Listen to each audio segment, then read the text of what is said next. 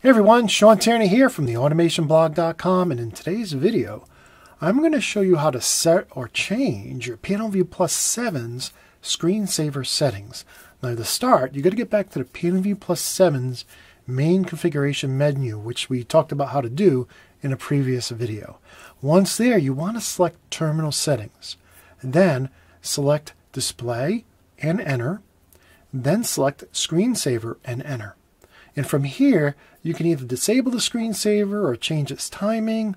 You can also adjust the backlight intensity.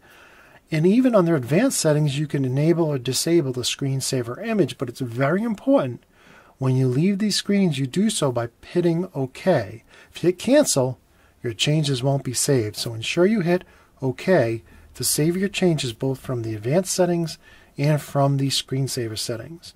And now once you've done that, you can go ahead and hit close twice to get back to the main configuration menu. Now with that said, if you found this video helpful, please do me a favor, give it a like and a thumbs up. And if you want to learn everything you need to know to program a PanelView Plus, check out my affordable training course over at theautomationschool.com.